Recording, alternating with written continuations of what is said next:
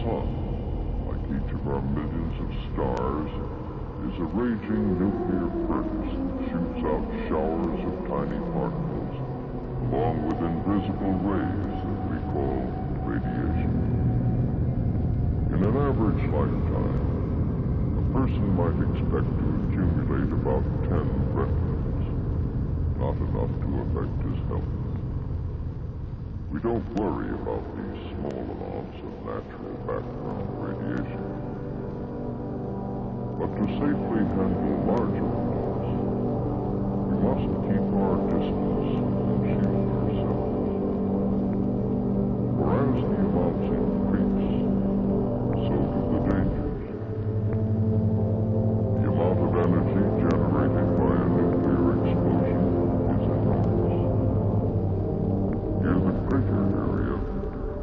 almost total destruction of blast.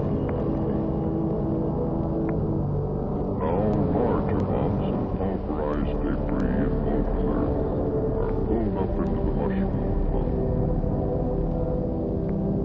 Radioactive atoms produced in the explosion join with the particles of earth and debris. The mushroom-shaped now contains billions of highly radioactive particles that we call fallout. The winds of the upper altitudes blow on the cloud, sending it in one or more directions. Some of the lighter particles may remain suspended in the atmosphere for days, travel thousands of miles. But the heaviest particles drop to the ground within 24 hours.